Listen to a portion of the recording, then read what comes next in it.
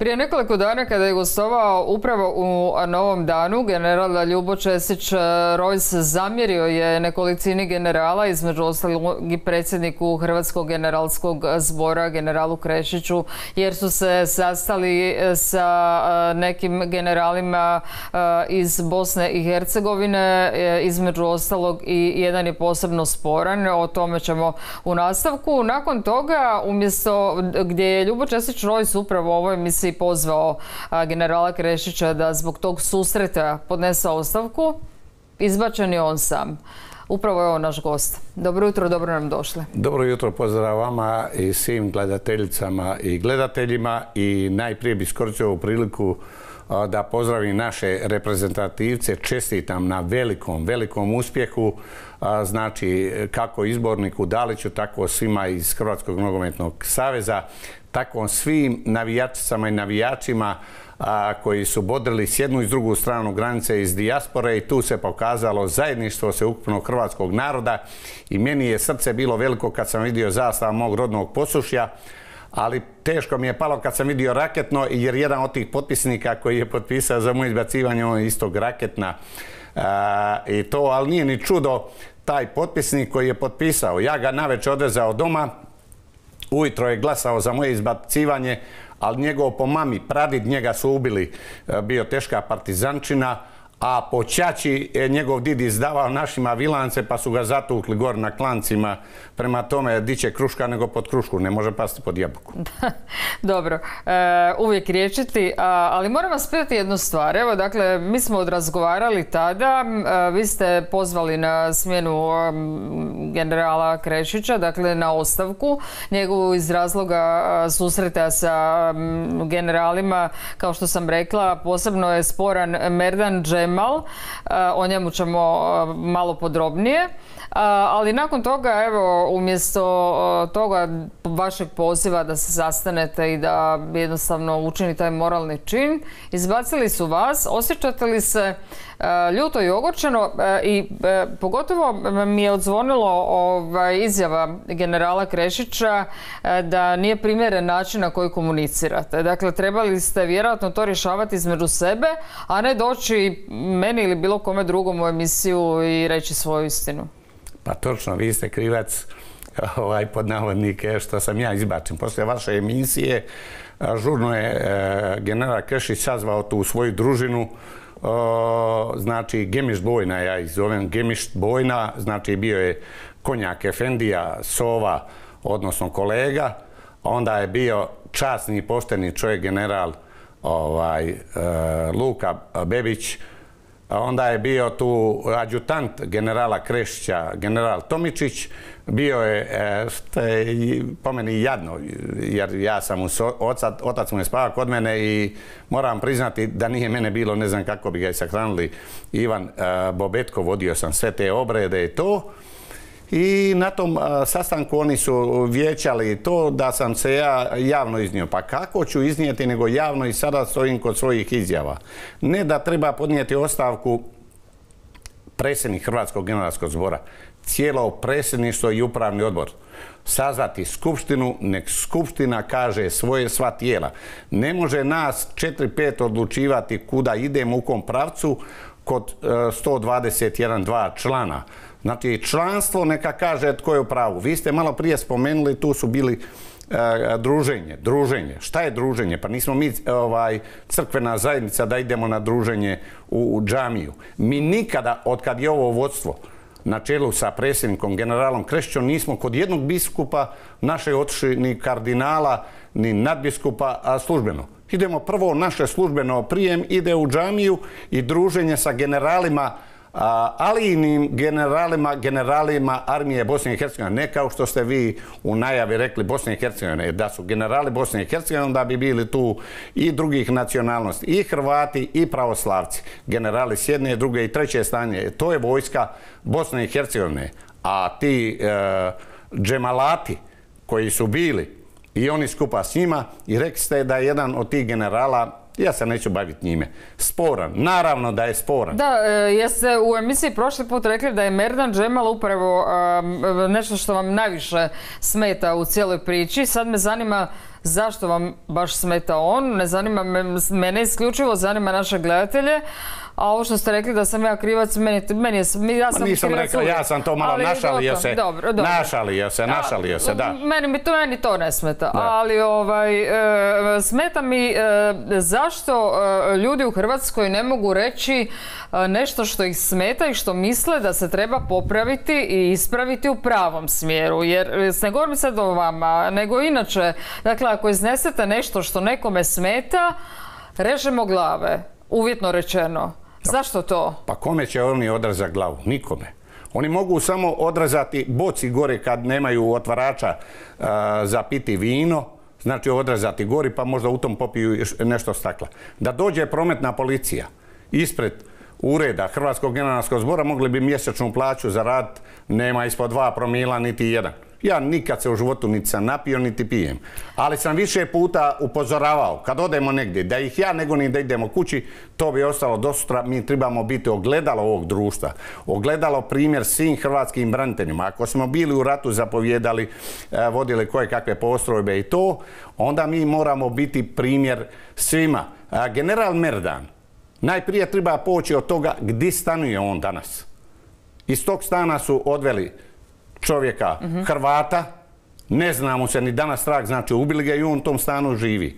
General Merdan je bio u Hagu svjedok da bi pakostovali Republici Hrvatskoj, da bi tovarili na Franju Tuđmana, Gojka, Šuška, dupla linija zapovjedanja u toj duploj liniji sam i ja. Kako je dupla linija ako zapovjeda vrhovni zapovjednik i ratni ministar obrane? Dupla linija su ti drugi bili, svjedočio da bi pomogao svom kolegi iz JNA Blaškiću, a da bi natovarili Dariju Kordiću. Znači imamo mi svu dokumentaciju, ali što radi Državno odjetništvo Republike Hrvatske, što radi SOA, što radi Vojna obavještajna služba, ne rade po meni ništa. Oni trebaju se time baviti. Kaznene prijave su podnesene, ali po tome nitko ne radi. Trebali su makar na obavjesni razgovor pozvati. I ja sam se brunio protiv toga jer predsjednik Hrvatskog generalskog zbora, znači ima tonski zapis, a imate, ja sam objavio dokumentat, te pozivi. Rekao je nama svima, nakon kroz maglu na kraju sastanka upravnog odbora, da će idu kod Aziza. Ja sam rekao, nema problema, ja sam išao kod Ševke Omerbašić, skidam kapu i pozdravljam ovom prilikom Aziza, akademika Hasanovića. Ali da idemo na druženje sa tim džemalatima, ali i generalima za koji se zna čast onim časnim i poštenim, pa nisu se udostojili postaviti pitanje kad su već s njima tamo nisu pili alkohol, sjedili, gdje su posmrtni ostaci naše kolege, generala Vlade Šantića. Vlado Šantić je nestao 95. godine, pa Bihać bi doživio sudbinu Srebrenice da nije bilo hrvatskih snaga, hrvatske vojske i hrvatskog vijeća obrane. Prema tome, to je sastanak po meni promašaj, ali oni su napravili to što su napravili. Šta bi ja trebao oko toga šutiti? Ja neću šutiti nikome, ja govorim istinu, spreman sam plat svaku cijenu koju treba, ali nema pravo nitko u Hrvatskoj, pa ni Ljubo Česrojc, ni predsjednik Republike, niti predsjednik vlade Republike Hrvatske, niti predsjednik Sabora, kamol nekih udruga, poigravati se sa sudbinom sveukupnog hrvatskog naroda. Moj hrvatski narod Znači, platio je preveliku cijenu u ime onih koji su poginuli, koji su svoje živote ugradili u temelje slobodne i nezavisne Hrvatske države, u ime stradalnika, u ime naroda koji jedva preživljava, mladi nam odlaze, pa i moj najmlađi sin nije mogao dobiti posao, četiri jezika govori, magistar ekonomije, Molio sam odao od vrata do vrata, nije lijepo ovo petljati djecu, ali ne može do posao, ide vani. I onda kažu imamo samo 100 tisuća nezaposlenih. I ti 100 tisuća pošaljimo vani, imat ćemo nulu što se tiče zaposlenosti. Zaduženi smo. Koliko smo bili dužni 2000. kad smo izgubili vlast, kad je Franjo Tuđman umro? 50 milijardi. Sad smo koliko? 5 milijardi, oprostite. Sad smo 350 milijardi. Treba se obračunati s mitom i korupcijom, sa kriminalom. Treba tražiti da nam plate ratnu štetu. Svi. I koliko je naših branitelja izručio Ivica Račan? Nula. Nikoga. Koliko su izručili, znači, po meni čovjek koji, koji ne bi smio blizu HDZ-a doći ako iz sjene upravlja sa svime, a šifra, znači sova, crtica kolega, crtica konjak, crtica efendija, crtica Bože mi oprosti, jer sve po sebi uvijek je mokar. I gore i dolje. Dobro. Ali oprostite, tko je pakirao optužnicu e, generalu Branimiru Glavašu? Jedan od tih je, znači Senader, on nije Sanader, nego Senader, imen je rušio kuću.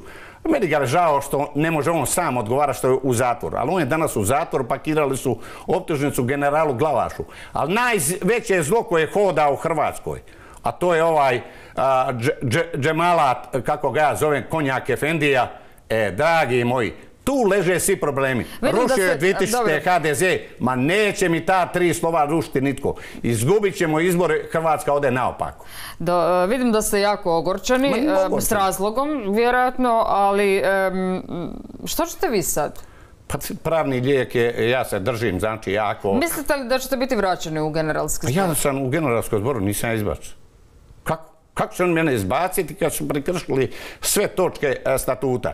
Statut je tumačio i pisao to i naslađivao se general od Bileća. A znate što meni nije jasno? Evo sad, na primjer, vi i ja smo jako dobri prijatelji, kumovi i sve. Nismo, ali ajmo zamisliti da jesmo. Ajde, idemo. I sad lijepo sjedimo, razgovaramo i, e, prošli put ste mi pohvalili ovaj, generala Krešića i rekli ste da vjerojatno nije ni znao gdje ide na koji sastanak i onda vas ta isti Krešić izbaci.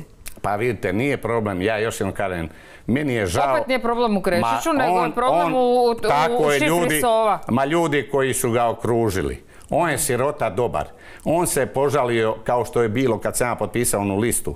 Sjećate se za Ali gledajte mi, ne, možete, biti, možete vi biti dobri koliko god hoćete. Da. Ali morate imati svoj stav. Imam stav. Može me, da, ali mene može okružiti sto ljudi i reći mi kako moram napraviti. Ali ako ja imam svoj stav, ma mogu se na trepavice postaviti. Ali draga Sandra, ako vam i supruga zaprijeti da će rastati se od vas, ako ne izbacite generala Rojsa, a stalo vam da živite e, u, braku ste, ne znam, 50 mhm. godina.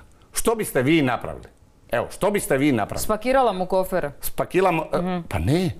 Nego bi ja predložio nju, učlanio bi nek ona bude predsjednica Hrvatskog generalskog zbora, ako on ne upravlja Hrvatski generalski Dobro, malo smo se sad... Pa nije malo šale, ovo vam je istina. Meni se jedan kolega, general, žalio role, ja neću biti na upravnom odboru, ali sam na telefonu što god treba. E, ja kažem, meni ne treba ništa, nek se drže statuta, a statut je ustav, a onda ja sjedim, pa on zove e, Marinka i kaže ja ću telefonski ako bude e, falio glas.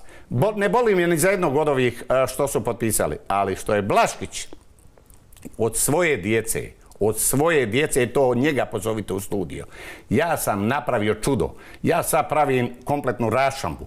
Što sam napravio za njegova odjetnika kad mi pokojni ministar iz Bostona zove preko inženjerije da uplatimo Rifkinu odjetniku 630 tisuća dolara za šest mjeseci za tada za obranu njegovu. Da, znači, ali vidite, pa nije role klub ja čuvam sve te fakture što sam uplaćivao, ne iz svog džepa, sa inženjerije, ali sam i opremio kliničku bolnicu Dubrava 22 milijuna kuna, ali je inženjerija ta ostalo je dužno 545 milijuna kuna, pa predsjednik moje stranke i vlade Republike Hrvatske neće da čuje za inženjeriju, a kod njega stoji dokumentacije metar. A on je dao konjak Efendiji. A konjak Efendija bacio u jednu tamo soške i kupi se prašna. Ali vidite, ja sam u ručbira sve što sam pisao predsjedniku vlada i sadašnjem Andreju Plenkoviću 2017 predsjedniku Hrvatskog sabora, ministru pravosuđa, ministru obrane, sve sam ju upozorio. Pisao sam Račanu, pisao sam Mateši, sve stoji u vladi. A dobro, meni ne izgleda... Uh, Platit pa će cijenu na izborima. Platit će cijenu u cijeloj Hrvatskoj, jer kad ja iznesem naciji, što je jedini zaštitnik sveukupnog hrvatskog naroda, možete me popljuvati. Jer oni kažu Rojse Milanović igrač. Ne, kad budemo imali boljeg zaštitnika hrvatskog naroda u Bosni i Hercegovini, ja ću reći šta je. Sada je gospodin predsjednik Zoran Milanović, zaštitnik hrvatskog naroda u Bosni i Hercegovini, posle Tuđmana jedini. Ko će predstavljati hrvatski narod u Bosni i Hercegovini? Ovaj ministar Paja Patak. A, general Šar, Šarl, kako se zove, ali, pet puta ponavlja, ne može izgovoriti ime Evo, sad ste rekli da ima e, premijer neku dokumentaciju. Ne izgleda mi e, premijer Plenković kao neko ko ne rješava stvari. Mogu ja imati bilo kakvo mišljenje osobno o njemu, slučaju, Pa, on je predsjednik moje stranke i predsjednik vlade. Da. Ali možda je on zaveden. A kako će takva osoba biti zavedena? Kod njega je dokumentacija... Pa ne izgleda mi ni kao neko koga je lako zavest. E, ali vidite, u ovom slučaju ga je zavelo. Jer je trebao primiti mene kad je bio onaj sastanak skupa sa njima. General Krešić je na brzinu promijenio temu i da se da novaca nama. Najprije treba vidjeti di smo mi potrošili novce od europskog projekta, milijon osamsto tisuća kuna, ko je uzimao pozajmice, tko je zapošljavao svoju rodbinu, koji od ovih naših znači te novce kao ugovor o dijelu da bi se opralo. Kod naših urednih prostora koje je uredio Ljubo Česić Rojć i sponzore tražio pa nam je pomogao Darinko Bago iz Končara, Davor Vrbanek 180 tisuća kuna, Krešić ga nije ni znao. Znači ja sam tražio te sponzore da opremimo gore naše urede i oni će mene izbaciti. Pa ja ću golit, ostaće goli zidovi, neće ostati ništa kad odnesem stvari svoje i ljudi koji su uložili, uložio sam previše truda. Prema tome, ovdje, ovdje je predsjednik vlade obmanut. Zašto nema hrabrosti i snage? Ja sam normalan čovjek. Pozove, ajmo ljubo da vidimo. U čemu je problem? To možemo riješiti, to ne možemo da 1877 radnih knjižica stoji 23 godine, da registarske pločice od vozila 502 vozne jedinice stoje u Ministarstvu obrane, prodaju i po, po jedinstvu, on otišao stečaj 20 kamiona četverosovinaca. Je li vama to izgleda normalno? Da smo prodali imovinu Ministarstva obrane, ukupno je bila, jer sam bio pomoćnik ministra, pa nisam ja glup, ja znam sve, 36 milijardi, a mi tražimo sada neke dotacije, više uplatimo u europske fonde nego što povučemo novaca. Ma kome oni prodaju maglu? mogu prodavati jer kontroliraju sve medije. Prijete ljudima, prijete portalima. Ja vjerujem da vašoj televiziji ne mogu prijetiti da će uzeti jer vam ništa nisu ni dali. Ali oni kojima daju, kao pa daju oni nama. Tada je govoreno gori kako će uplatiti Hrvatskom generalskom zboru. Pa mi moramo podnijeti financijsko izvješće zašto ćemo utrošiti namjenski mhm. ta sredstva. Mhm. Ja nisam iz generalskog zbora kave ni popio ni odnio. Samo sam dava i donosio. Ako donesem 50 litara vina za neke naše, recimo, obljece, a donosio sam i više od 50, ali to se slisti tu noć. I ujutro, pa to je sramota. Pa i moj kum, ali neću. Ja još jednom kažem, ja imam obraz. Ja sam čovjek, ima i on obitelj, ima petero djece. Žao mi ga. Neću govoriti što se desilo, ali to ima sva dokumentacija i na sudu. To je žalosno. I takav hrvatski generalski zbroj ne može ostati ni opstati. Pa ne može deset minuta nakon što su rekli kao da su mene izbacili, prekršili sve točke, to će odjetnici i upravni sud, ja ću sada tražiti nadzor upravnog suda, poslaću papire i na OLAF i na USKOK, neki izvoli gospoda doći, ako je sve čisto, ja ću se ispričati svima. Razumijete što govorim? Dobro, Ali ne može on potpisati. Za toga Rajka, Zlomislića, po materi Rezu, odnosno kasnije nakon deseta godina prezime Dumančić, ili za ovog koji je doktorirao još u Beogradu, koji je radio u Kosu, došao sad kod nas, taj savjetnik predsjednika Matiku, da će im dati predsjednik Republike, Zoran Milanović, činove, odmah je potpisao prijedloge za odlikovanja i činove, poslao ured predsjednika. Od jednoga, navodno je uzeo velike novce. Pa ljudi moji, kud to ide? Pa to je strašno što se dešava gore kod nas. I da to ne smije znati članstvo. Pa ne znaju ni ovi koji su glasovali protiv mene, ali ja sam sve pripremio dokumentaciju i to ide službeno šutit USKOK, državno odvjetništvo DORH, OLAF i hrvatska javnost. Evo, dakle, vi se, dobro, evo da zaključimo, vi se ne smatrate da ste izbačeni, Nisam pratit ćemo... I ne priznajem to što sam Dobro, pratit ćemo slučaj dalje, ja ću pokušati doći do generala Krešića, odmah pa ću reći. A najbolje je bilo uoči, ovako da razgovaramo. Pa evo, ja ću probati, ali ne znam, vidjet ćemo hoće li mi se odazvati. On je dobar govornik, on će se odazvati kako ne, on voli kamere, ja se Nije me nikada odbio ni jedan predsjednik pa generalskog zbora, pa valjda neće ni on. Čas, spokojno, Miljavcu, ja bi mogao sada govoriti i o njegovoj smrti. I što se desilo ta dva dana?